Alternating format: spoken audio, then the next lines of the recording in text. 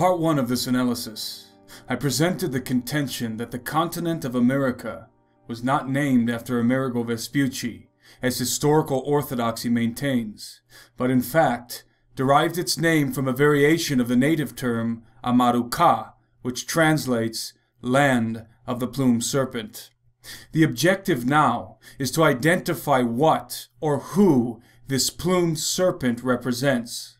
In order to do this, we need to turn to the mythology of the three great empires that once dominated the Americas the Maya, the Aztec, and the Inca.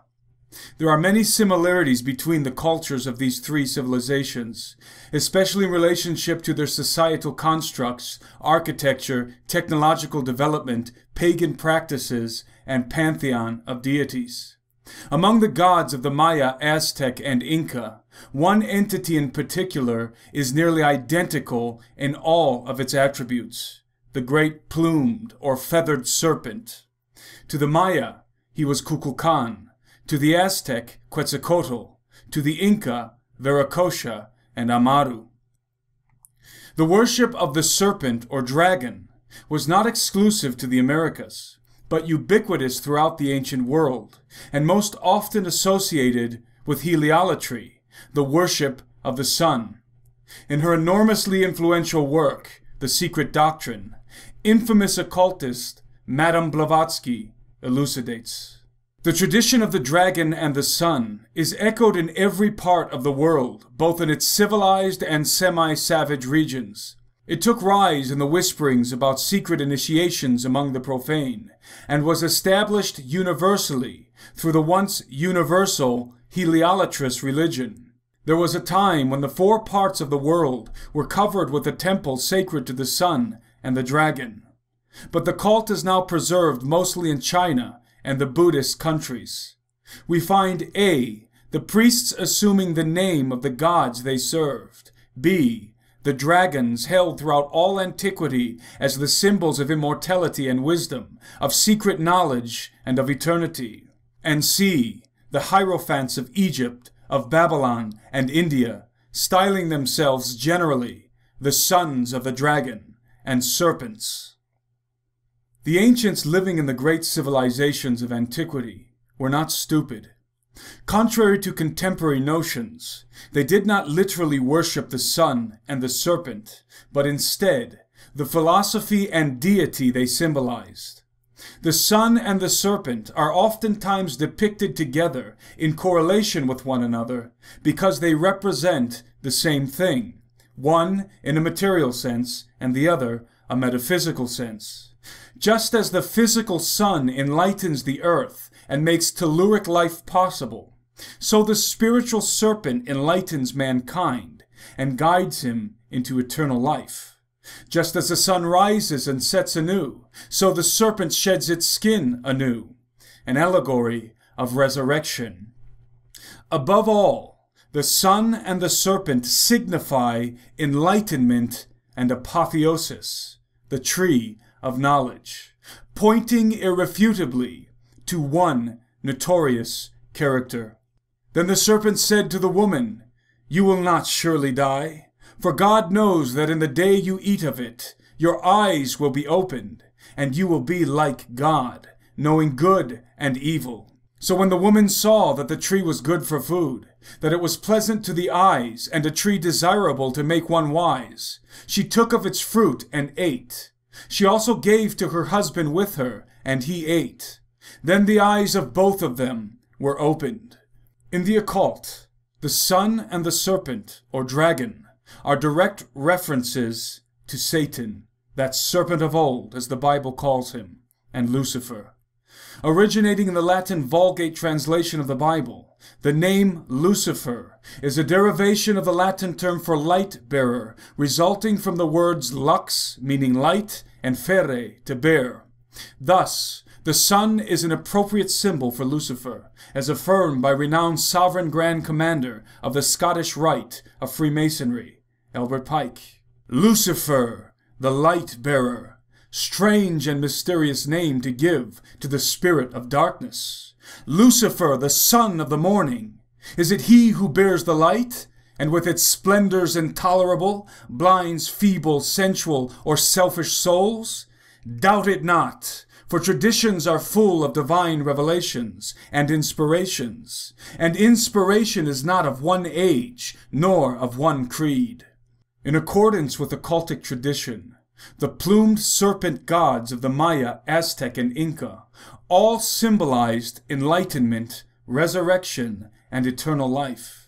Additionally, they were all associated with the dawn and the morning star, Venus the very same analogy attributed to Lucifer in the book of Isaiah. How you are fallen from heaven, O Lucifer, son of the morning. How you are cut down to the ground, you who weakened the nations. The term weakened the nations in this verse does not imply that Lucifer caused the great civilizations of the world to be weak militarily, politically, or technologically, but rather morally, leading them into gross sin and rebellion against God through the shedding of blood, sexual depravity, and idolatry. But in the traditions of the occult, the influence of Lucifer in society is viewed inversely. In other words, he does not weaken the nations, but enlightens them. Ultimately, the consequences of Lucifer's enlightenment are always the same bloodlust, tyranny, and death. This is certainly indicative of the Maya, Aztec, and Inca, all of whom are infamous for human sacrifice.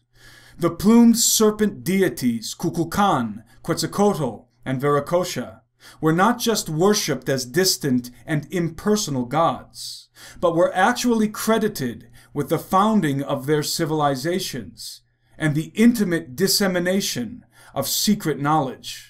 In fact, each of these entities is said to have lived among his people for a time, teaching them the occultic sciences and mysteries before departing over the sea. Unbeknownst to most, behind the veneers of these plumed serpents are the faces of bearded white men. Kukulkan, Quetzalcoatl, and Viracocha were not only alike in serpent form, but also in human form. Though the legends concerning them are manifold and inconsistent, these plumed serpent godmen are most often described, in stark contrast to their native subjects, as being tall, white-skinned with golden beards and hair, and blue or green eyes. Whereas Viracocha was said to have emerged from the depths of Lake Titicaca on the border of Peru and Bolivia, Kukulkan and Quetzalcoatl came over the sea from a distant land, a land that was destroyed in a great flood.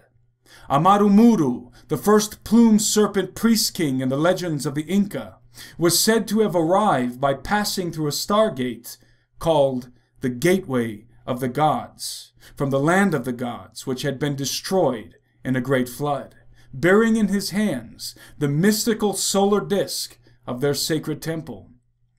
Like Viracocha, he too was of white complexion with blond hair. It is precisely because the Aztec and Inca were expecting Quetzalcoatl and Viracocha to return from over the sea that the Spanish conquistadores, with their Caucasian bearded faces and advanced technology, were at first received and venerated as gods, a fatal mistake that would ultimately lead to the total annihilation of both civilizations. The question now arises Who were these plumed serpent godmen that founded the Maya, Aztec, and Inca civilizations? And where did they come from? There are many speculations. To the skeptic, they are little more than the fancy of primitive myth, probably derived from contact with European missionaries who visited the Americas in the Middle Ages. Other more intrepid minds contend that they were humanoid aliens from the Pleiades star cluster, and some believe that they were ascended masters from the ethereal plane, even Jesus Christ. Although I cannot say for certain exactly who they were, I believe that the origin and nature of the plumed serpent godmen can be distilled from the legends concerning them. Similarities in their appearance and Caucasian features suggest that they are of a common, non-indigenous race, or perhaps even the same person. The antediluvian narrative of a great flood and giants appears in all of their mythos. Kukulkan, Quetzalcoatl, and Amaru Muru are said to have come from a land that was destroyed by the flood. All of them founded their respective civilizations, bestowing their cultures with science and technology unknown to Europeans of the time, such as extremely accurate cosmological models and calculations impossible for human beings of the time to ascertain. All of them established a Luciferian cult based primarily on the worship of the sun and the serpent, requiring copious amounts of human blood. Aside from these clues, all of the plumed or feathered serpent deities of the Americas were associated with the wind and flight. There exist many legends among the natives of both South and North America concerning the white-bearded gods that flew through the air on disc-shaped craft. Although legends are notoriously unreliable sources of hard information, embellished with analogies and metaphors, Common threads found in the narratives of widely dispersed people groups can often be traced back to substantive fact. It is my postulation that the plumed serpent does not represent a literal depiction of Maya, Aztec, and Inca deities, but a symbolic one, pointing to Lucifer, and to a secret priesthood of highly advanced beings from antediluvian descent the sons of the dragon, as they are called in the secret doctrine, the keepers and teachers of the Luciferian lie.